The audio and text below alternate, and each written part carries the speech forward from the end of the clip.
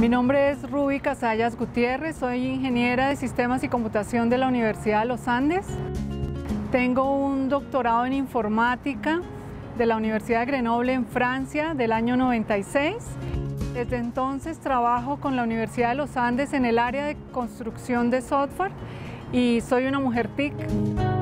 Además, coordino un grupo que se llama Mujeres en Computación que intenta buscar las causas por qué las mujeres han desaparecido de esta profesión y buscar maneras de convencerlas para que vuelvan a estudiar estas carreras.